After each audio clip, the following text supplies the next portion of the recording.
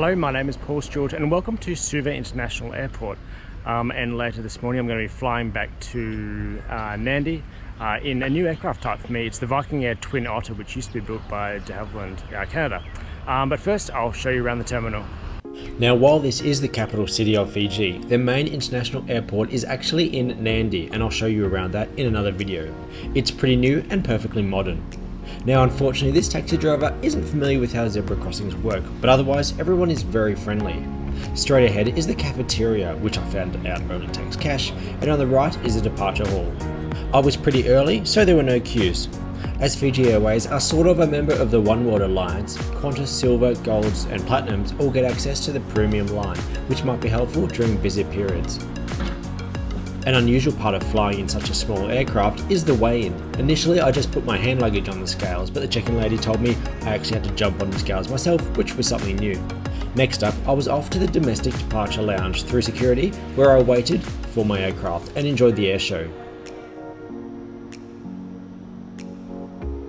Here's an ATR 42, which is the larger aircraft that they also fly on this same route, and I'll be uploading a video on board its slightly longer brother, the ATR 72, next week, so make sure you're subscribed to my channel. In this trip I also flew in Fiji's new A350 and their A330, so those videos are also on my channel.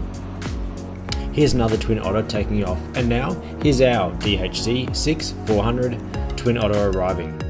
Now this aircraft type actually first flew in 1965, although our aircraft today is much newer and built in 2017. The reality is that it's a safe and reliable design, so why change it?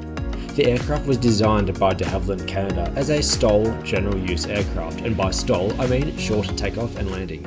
So essentially it's powerful and manoeuvrable enough to work in very underdeveloped places such as dirt runways and Auckland, etc. The fact that almost 1,000 have been built and it remains in production is a testament to how good the original design was. The ground staff were all very friendly and this lady actually asked to be included, as everyone thought it was very amusing that this grown child that I am was filming all the planes. Here we are boarding and a particularly cool thing about this small aircraft is that the captain greets you as you're boarding. There's no flight attendants, so there's just the two crew, and there's also no toilets on board, although that wasn't a huge problem as it's literally a 28 minute flight.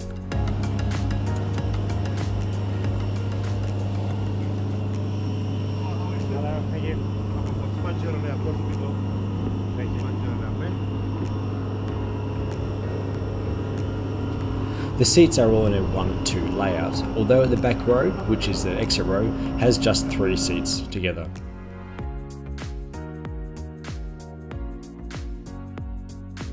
Now the big contraption on the left is the stairs mechanism that folds out and you'll see that opening up when we arrive in Nadi, or Nandi, sorry, as I found out it's pronounced.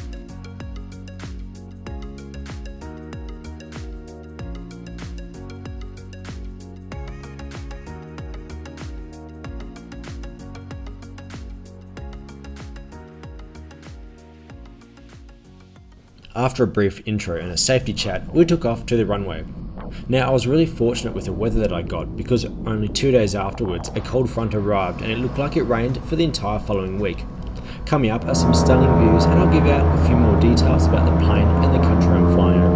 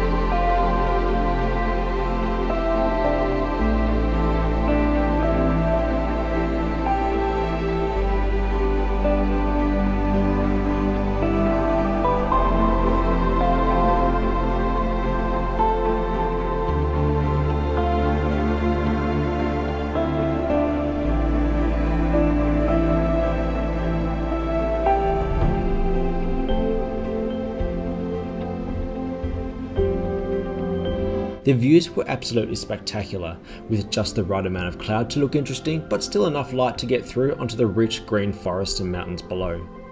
This aircraft is a Dash 400 model, which implies there were early models. The original aircraft was the Dash 100, which was upgraded to the Dash 200, which provided a bigger nose and storage capacity. Then in 1969, the Dash 300 was introduced, and this came with a more powerful Pratt & Whitney PT6A-27 engine, and or two of them, and that model remained in production at the Toronto factory until 1988. What's really interesting is that a company called Viking Air in British Columbia bought the rights to produce replacement parts for the out of production DHC aircraft, and then in 2006 they bought the type certificates from Bombardier or Bombardier, I'm sure the internet will tell me how it's meant to be pronounced, which essentially means that they could start building it. So the following year, production of the Dash 400 model began, it has an uprated engine as well as more modern electronics such as a glass cockpit and the use of composites in non-weight bearing locations such as the doors. According to Viking, by 2017 they had produced over 100 of the newer models, 70 of those had regular wheels, 18 were float planes, 10 had large low pressure Tundra wheels and 2 of them had skis. Again, this just demonstrates how versatile this aircraft type is. So a little more about this airline, Fiji Link, who are a subsidiary of Fiji Airways, who are the national airline of Fiji. They have four of these Twin Otters, two ATR 72s, one of which I flew in, uh, and there'll be a video on that as well, and a single ATR 42, which is the one that you saw earlier in this video. They have a number of routes across the Fiji Islands, and I was really impressed with them. Their prices were reasonable, and the staff were all friendly. As I'm used to international travel, I arrived at the airport way too early and the friendly lady offered to put me on an earlier flight, and found it quite amusing when I wanted to delay so that I could catch this particular aircraft type. Uh, the two internal flights I did were also all on time. The views flying over this beautiful country from around 8,000 feet were fantastic. It really looked like we were flying over Jurassic Park, we essentially flew right across the island of Viti Levu, which I'm probably not pronouncing right, which is the most populous and largest island in Fiji with approximately 600,000 inhabitants. Unsurprisingly, with such great weather and views like this, one of Fiji's main industries is tourism, with as many as 250,000 visitors per year, which is impressive when you consider the fact that the total population of the country is a little under a million. Sugarcane is also a major export as well as fishing and that's actually another reason why Fiji Airways are very excited about getting two new A350s as they have much larger storage holds than the A330 so they can fly more perishable items such as fresh fish to America and Australian markets. I really enjoyed my flight, both as an av geek and as someone who enjoys taking footage of nature. While I did speed through some of the landing and takeoff footage, I'll upload these all in separate videos and include a link below.